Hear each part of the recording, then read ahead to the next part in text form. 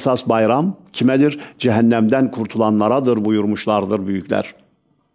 Ama şimdi bakıyorsun tabii insanlar efendim e, bayramlık alacak, elbise alacak, mağazalar efendime söyleyeyim AVM'ler, şuralar buralar. Herkes ne yapıyor? Bir şeyler alacak. Alacaksın da yani oruçla alakan yoksa, teravihle alakan yoksa, Ramazan mı gelmiş, Şevval mi gelmiş, bayram mıdır, Arefe midir, Seyran mıdır? Hiç umurunda olmayan bir adam He, Ramazan gelmiş ama onun semtine vuramamış. Onun hayatına vuramamış. He, ne orucuna tesir etmiş, ne efendim e, camilere, teraviye koşmuş. Hiç yani normal hani bir Müslümanın yapacağı efendim bir hayatı şu Ramazan ayında yaşamamış ama efendim koşmuş şeye efendim mağazalara koşuyor. Ne yapacak? Elbise alacak da bilmem ne yapacak.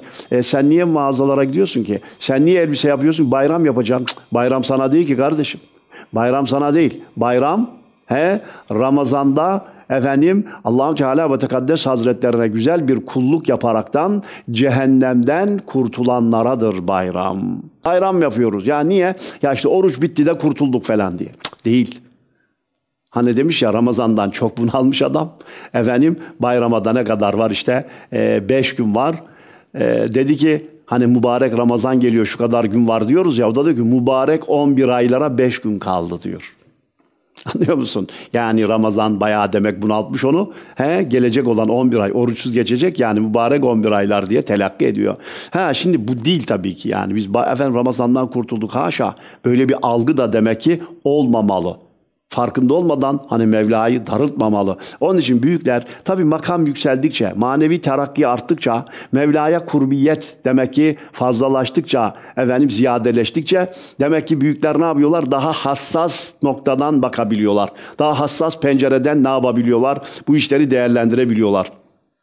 İşte Cüneyd Bağdadi Hazretleri Seyyidü Taife mübarek ne diyor? Baktı ki camiden çıktı bayram günü gül cümbüş. Elbette öyle olmalı tabii. Bayram allah Teala efendim e, Habibi vasıtasıyla bizlere bunu ne yapmıştır? Yani hediye etmiştir. İki tane bayram. Ramazan-ı Şerif ve Kurban bayramları.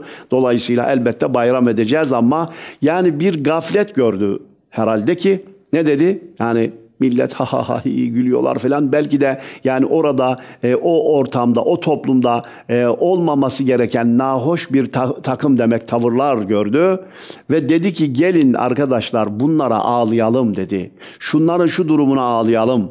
Çünkü evet Ramazan bitti ama oruçlar kabul mü? Zekatlar kabul mü? Fitreler kabul mü? Acaba cehennemden kurtulduk mu? Belli değil.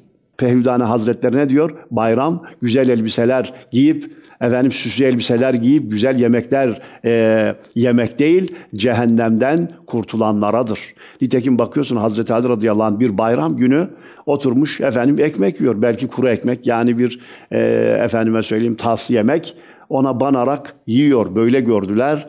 Dediler ki ya Ali bugün bayram Evet, e sen kuru ekmek yiyorsun.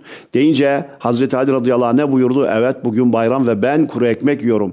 Ama benim için yarın da bayram, öbür gün de bayram. Benim için günahsız geçen her gün bayram diyor Hazreti Ali radıyallahu anh. Yani gördün mü bakın. Yani bayram algısı, efendim e, bayramın efendim tarifi nasıl değişiyor kişilere göre. Hazreti Ali gibi bir zat günahsız geçen her gün bayramdır diyor.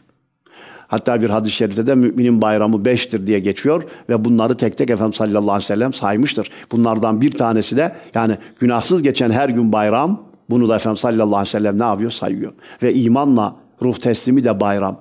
Rabbim Celle Celaluhu bütün bayramlara ulaşmak, kavuşmak ve o günleri bayram olarak yaşamak nasip etsin. Yani sen imanla yaşarsan He, şu Ramazan ayındaki insanın aldığı, bir Müslümanın aldığı terbiye, o manevi atmosfer içerisinde yaşadığı o güzellikleri bir ömre, bir hayata yaydığı zaman ne olacak? Bu efendim e, ömründeki, bu hayatındaki son günü arefe olur Efendim öldüğü günde bayram olur. Onun için bak şair ne diyor? Bayram ölene bayram. Bayrama sevinmek var. Oh ne güzel bayramda tahta ata binmek var diyor.